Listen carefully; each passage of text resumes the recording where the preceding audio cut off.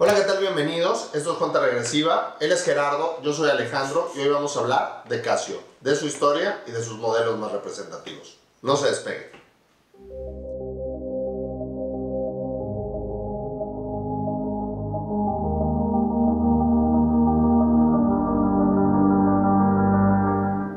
Les recordamos que en cuenta regresiva seguimos con la dinámica de sortear un reloj Casio Marlin Duro entre todos los que se inscriban a la página hasta el día 10 de octubre. Y el nombre del ganador se dará a conocer en el siguiente programa que publiquemos. Es correcto, mi querido.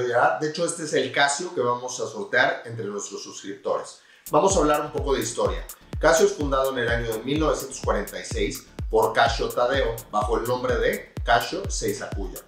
En los orígenes de la compañía se dedicaban a reparar y dar mantenimiento a máquinas impresoras de boletos de avión. Para finales de la década de los 50 comienzan con la fabricación de calculadoras bajo el nombre de Casio Computer Co. Ltd. Y para el año de 1966 comienzan con su internacionalización exportando sus productos a diversos países. Hablemos del tema que realmente nos importa, los relojes. Casio sorprende al mundo en el año de 1974 lanzando al mercado el primer reloj digital de cuarzo de pulsera llamado el Casiotron, que además de la hora daba el día, el mes, el año y se sincronizaba con el año bisiesto. Es así como Casio comienza con el diseño y producción de relojes que además de dar la hora también tenían diversas funciones. Es correcto, para el año del 76 casi todos los relojes Casio tenían alarma y luz.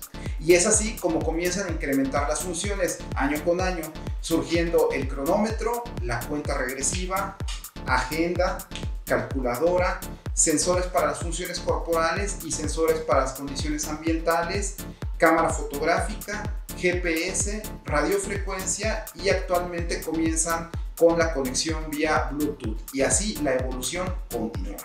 El año de 1983 fue un año muy importante para Casio, ya que salió al mercado la primera colección de Casio G-Shock, que fue apodado el reloj indestructible, ya que aguantaba la caída de un rascacielos sin romperse. Todos los Casio son relojes impermeables. Ahora vamos a platicarles un poco de los que para nosotros son los relojes más icónicos de Casio. Sin duda, el modelo más representativo es el reloj F91, el cual es usado por políticos, artistas, deportistas y personas influyentes alrededor de todo el mundo. El modelo CA también es muy representativo porque fue el primero que tuvo calculadora y dio pie a toda la línea Databank. Otra línea muy representativa sería la AW, que cuenta con la pantalla análoga y el display digital. También los modelos de la línea AW que ya cuentan con horario mundial eh, son muy populares. Y otras líneas también que fueron muy populares fueron aquellas que fueron orientadas a actividades deportivas. De hecho, a mí hay unos que me gustan mucho que son los relojes que traían videojuegos.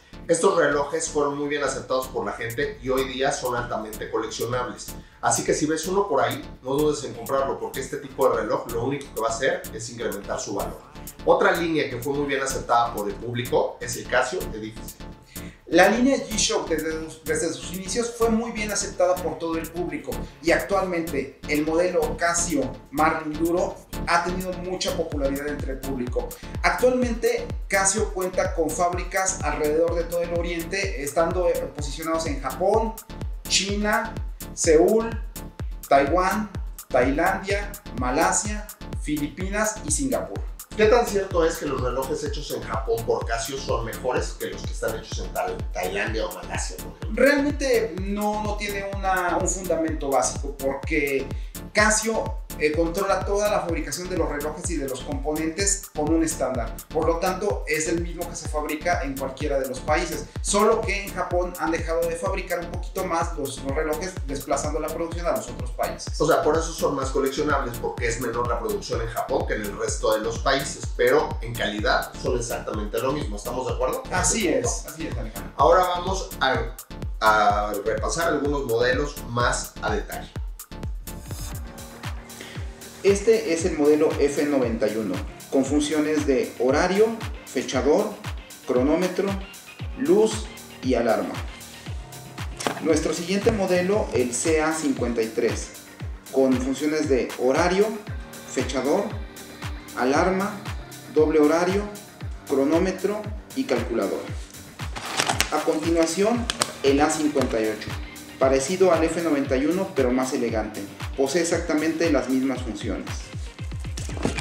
Aquí tenemos el AW80 con carátula análoga digital, horario, fechador, 30 memorias, tiempo mundial, cronómetro, cuenta regresiva, dos alarmas y luz. El siguiente es el AE1200 con las funciones de horario, fechador, tiempo mundial, 5 alarmas, cuenta regresiva, cronómetro y luz. Ahora les presentamos el GA700, carátula análoga digital, horario, fechador, cronómetro, horario mundial, 4 alarmas y luz. ¿Qué reloj traes puesto el día de hoy, mi querido Gerard? En este caso traigo uno de la colección A, muy bonito, con luz y funciones básicas. Yo traigo un G-Shock. Eso es todo por hoy. No se olviden darle like al video, suscribirse al canal y recuerden que la vida es más que el tiempo que transcurre en los relojes. Un abrazo.